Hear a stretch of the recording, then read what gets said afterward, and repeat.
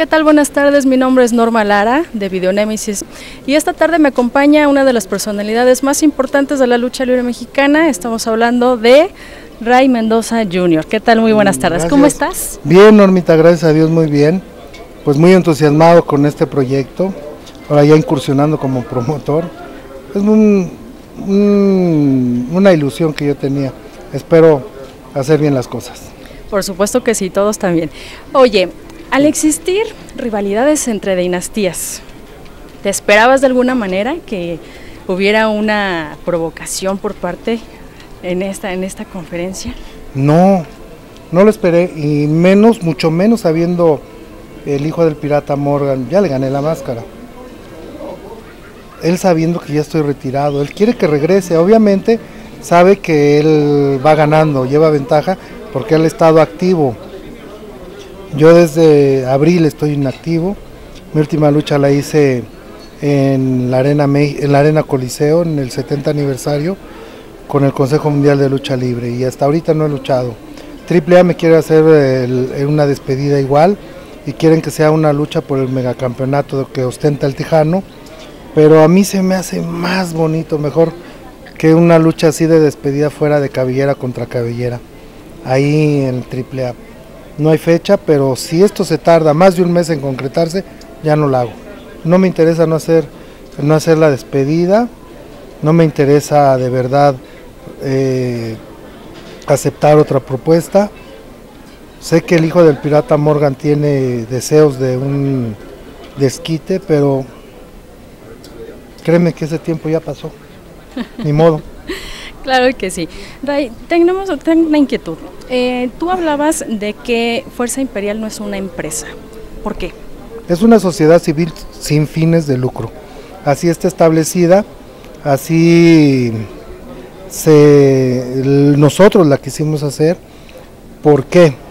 Porque nosotros no queremos lucrar como otros, otras personas.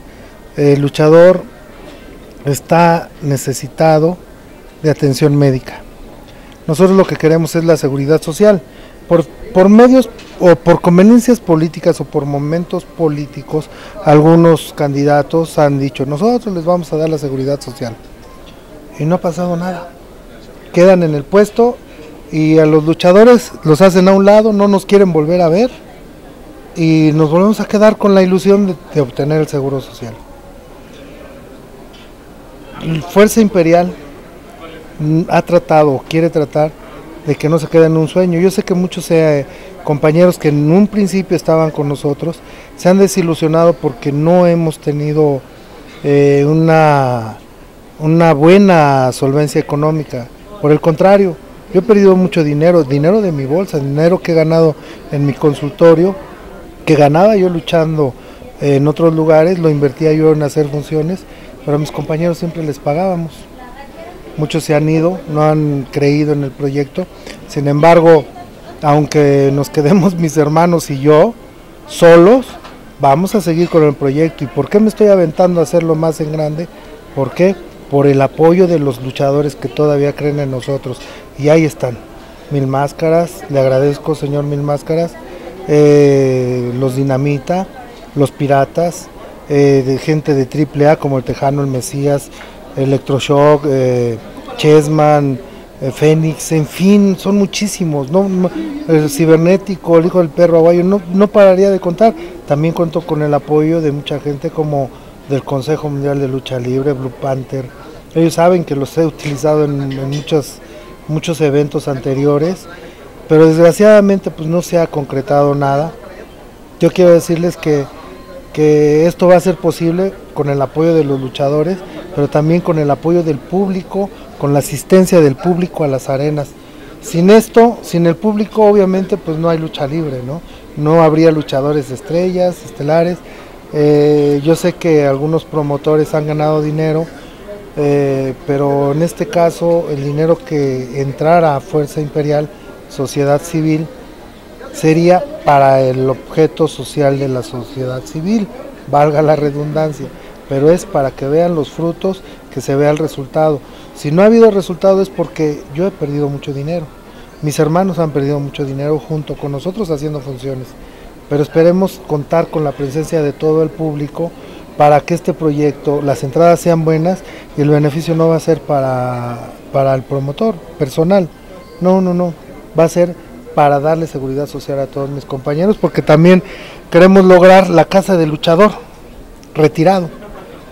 Ahí mismo hacer un hospital, y esa es una ilusión que tengo, con especialidades que requiere todo el deportista. Y si se quieren sumar boxeadores, taekwondoines, eh, judocas, karatecas, eh, eh, gente de artes marciales mixtas, adelante, únanse al proyecto y, vamos a apoyarnos. Y la otra es de que logremos incapacidades, atención para las familias, para nuestras familias, porque todo sale de nuestro bolsillo, y más importante, las lesiones, porque todo el dinero que ganamos dentro de la lucha libre lo perdemos curándonos. nosotros pagamos doctores, eh, medicamentos, eh, cirugías.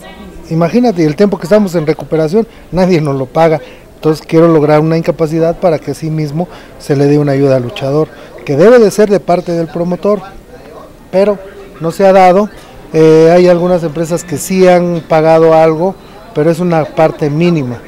Hay que pagar una especialidad hasta que el luchador quede estable otra vez, que quede 100%, que va a ser imposible, pero créanme que estaríamos muy a gusto con esa atención. En otro país lo hacen, en otros países lo hacen, ¿por qué en México no? En Estados Unidos yo para lograr entrar a, a las empresas de lucha libre allá, lo primero que me piden, mi número de seguridad social en Estados Unidos.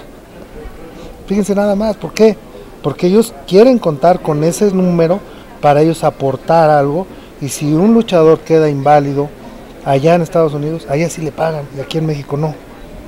El luchador es el patito feo. Claro, hay aún así muchas carencias todavía en, el mismo deporte, ¿no?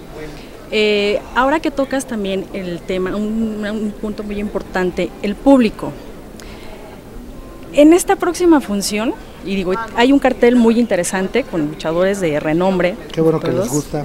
Este, ¿qué, ¿Qué esperas que la gente se lleve este en este, de este próximo evento? Mira, la gente se tiene que llevar un grato sabor de boca, porque son luchadores que suben a morirse en la raya, que suben a desempeñar su trabajo como debe de ser.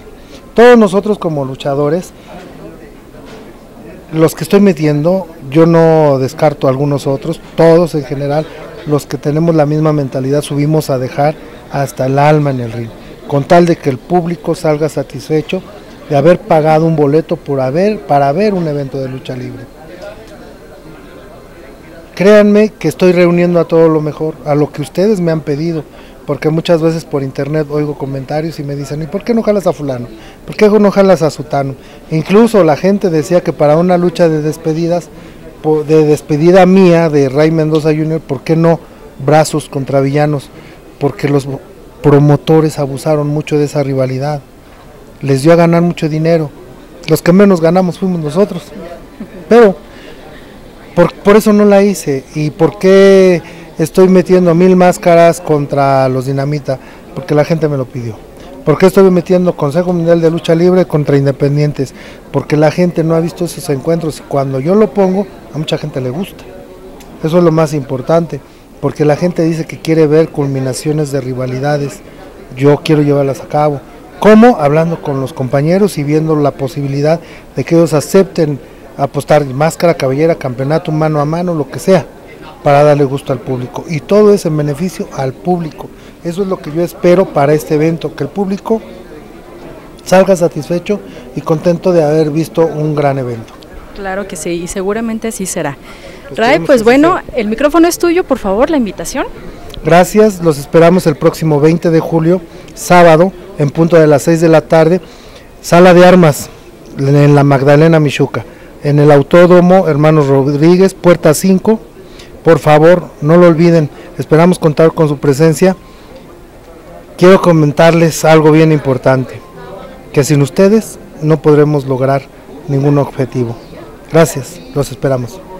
Así es, público querido, bueno, la invitación ya está hecha y espero que acudan, vayan, vean a sus ídolos y por supuesto pasen una tarde llena de adrenalina, que seguramente la habrá.